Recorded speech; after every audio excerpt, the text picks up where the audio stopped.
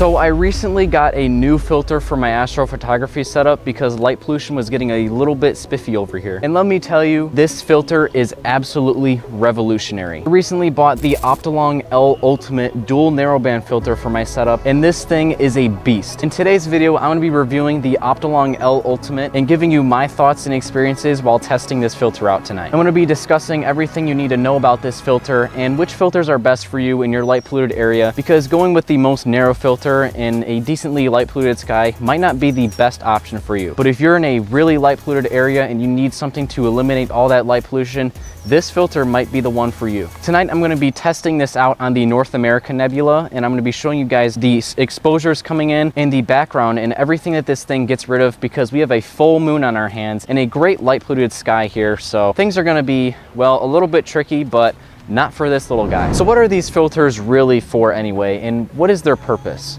Well, these are called dual narrowband filters and they're designed for taking pictures in light polluted areas with a one-shot color camera. There's two camera types that you can really do in astrophotography. You'll have one-shot color and then you'll have monochrome. One-shot color is basically shooting the sky with a color camera. So that means that everything you see will come in full color for you so you don't have to do any weird things with color if you're using a monochrome camera.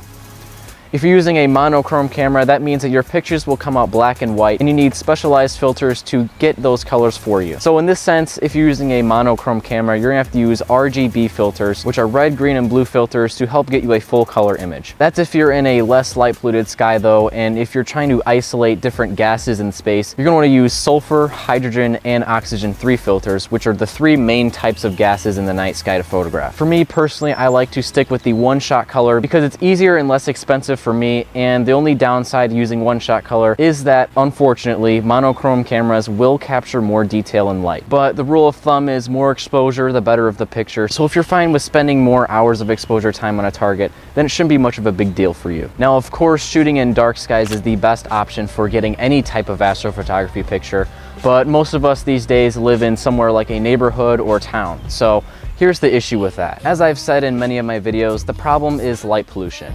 The less stars you see in the night sky, the worse. When all that outside light interferes with space, you really can't see a lot of stars at all. If you take an exposure, just a regular exposure of the night sky in a light polluted area, you might notice that it appears really bright. Now, if for example, if you took a picture in a dark area, you'll actually see more stars, and that is because there's less light interfering with the sky. The more lights that come in the night sky, the more the Milky Way and all the stars get shrouded out. This is something that is unfortunately irreversible, but luckily we've designed some things over the past few years that help fight this issue and they do it really effectively. One of the first narrowband filters that ever came out was the Optolong L Enhance.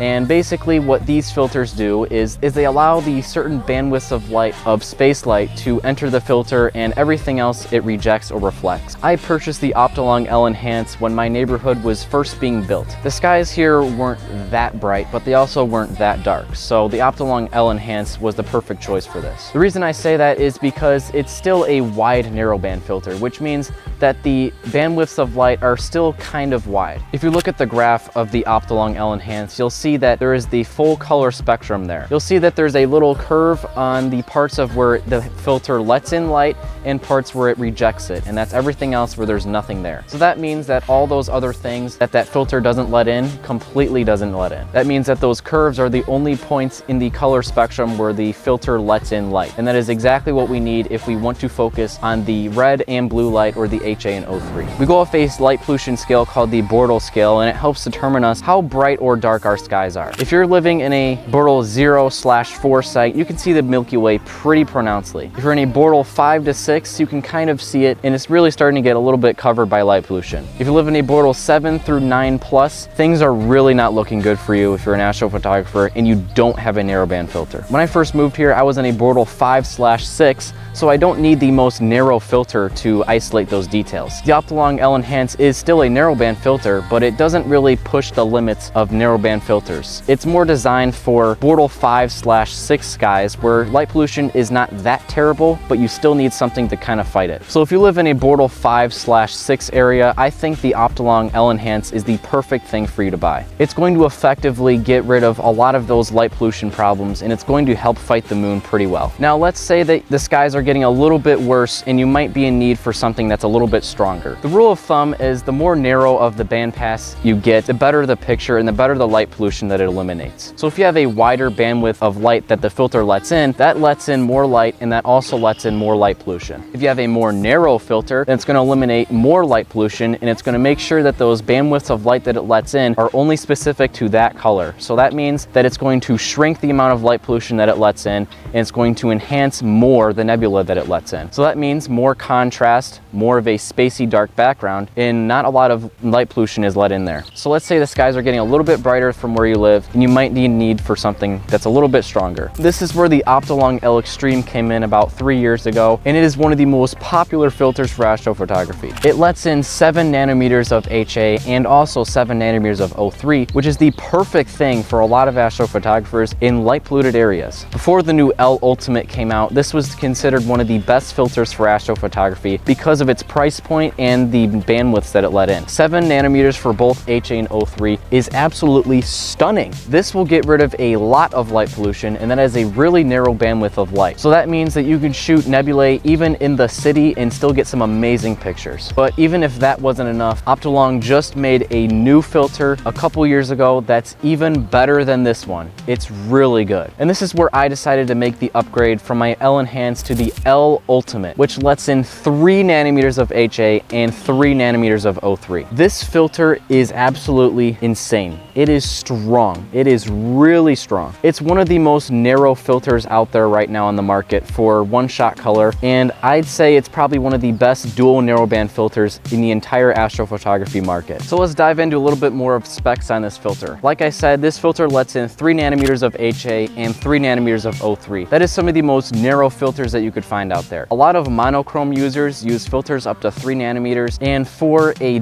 one-shot color dual narrowband filter, that is absolutely insane. Because most monochrome users use filters that only let in one bandwidth of light, the fact that a dual narrowband filter, which lets in two bandwidths of light, both that are three nanometers, is some crazy engineering. If you wanna buy this filter, it's $389. Yes, that's pretty pricey, but let's hope you have a job. I bought the two inch version and there's also a 1.25 inch version. That's a little bit cheaper, but I say go with the two inch version because that has the most versatility. If you're considering adding this filter to your setup, make sure that your telescope and your camera have a f3.45 ratio and higher because this filter will experience something called band shifting if you have a faster f ratio system for your astrophotography rig. If you have a fast f ratio system, like let's say you're using a camera lens that is the Rokinon 135 f1.8 or f2 lens, make sure you're using something like the Optolong L Extreme f2 version, which will not have any band shifting at all. So yeah, this filter is designed for a little bit slower f ratio telescopes, but that is completely fine because the amount of detail you're getting in a picture is mind-blowing. So here we have the box, and this is the Optolong L Ultimate box, and this is what you'll get right when you order this thing. So you have the typical cool little Optolong box, I guess, and basically what we're gonna do is we're just gonna open it, and we're gonna see what comes included, and really just the only thing that comes included is the filter. So you open it up, and here's the filter. And here you go, you have the filter right here. This is basically all that comes included with the box. It comes in a nice little styrofoam holder here. And what we're gonna do is just we're gonna take it out. And voila, there's the filter. I'll tell you one thing that I did notice when I got this filter is that the back side of this filter is actually kind of a golden yellow, which I found was kind of interesting. I hope you guys can see that on the camera here. But on the front, it's like completely white. So you flip it, and then it's yellowish on the back, which I thought was really cool. The Optolong L Enhanced did not have this, which I thought was pretty interesting. So I'm wondering if that has to do with the smaller bandpass uh, bandwidth of light that it lets in. So three nanometers versus 10 to 25. So yeah, I mean that's about it. That's it's just a filter. I mean there's not much to really look over here. So when you're not using it, you'll just put it in here. It has the L Ultimate labeled right there so you guys know that this is the case for this filter. So, yep. Okay, so we are out on the field right now. It is nighttime. It is a full moon. You guys already know the conditions are terrible for people who don't have filters, so Sorry guys. But here we have the Optolong L Ultimate and it's time to do our first round of testing. So right now I'm pointed at the North American Nebula, but specifically I'm kind of focusing on the Pelican Nebula. Kind of just shifted it over a little bit, but you could still see the North American Nebula in here too. And right out of the bat, as I'm looking at my phone, I'm seeing that I really don't see any gradients in this image. And gradients are coming from light pollution that's seeping through the filter and I don't see any right now. The background looks completely dark to me. I'm not seeing any weird color cast, just with a five minute exposure, things are looking absolutely incredible. Now, if you were to compare this with some other filters, you might see that there are some gradients from light pollution leaking into the filter because of that wider bandpass. Well, because this filter is three nanometers, things are a little bit different and they really don't let in a lot of light pollution at all. So I'm really happy to be seeing this. Another thing I'm gonna mention is the amount of contrast that you can see in this image you can see a lot of nebulae and also a lot of the space gray background of space where there's just really nothing there. So the parts where there's not a lot of nebulae, you can really see just the space-like texture instead of seeing a washed out, light polluted, bright sky that kind of blends in with that image itself.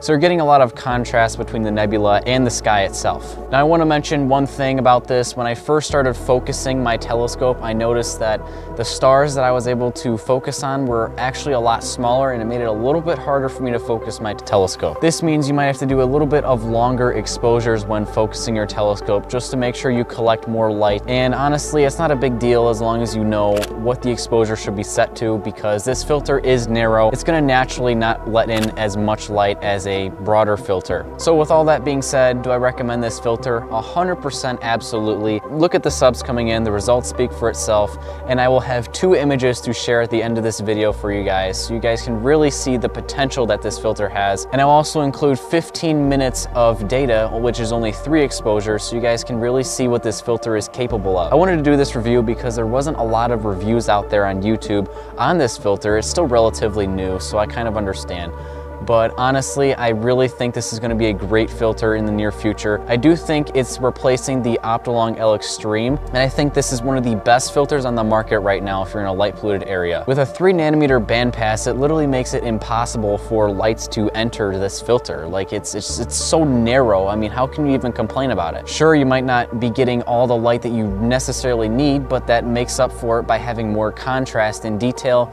sharper stars. Everything is just great about this filter in my experience so far. So I will keep on continuing to get more images with this filter throughout the summer and probably throughout the entire time that I have this filter because I don't see any reason of getting rid of it right now or even in the distant future because 3 nanometers is about the strongest filters that we have on the market right now. So I'm pretty sure this thing will be sticking around for a while. If you guys are considering buying this filter, make sure you check the link in the description where you will be able to see where I purchased this filter so you can make that decision for yourself if you want to buy this filter or not. I'm going to reveal the full images right now of the results from this Optolong L Ultimate filter and I hope you guys took something home from this video, learned a little bit more about narrowband filters and why strength matters with these kind of filters. I'll see you guys in the next one. Clear skies.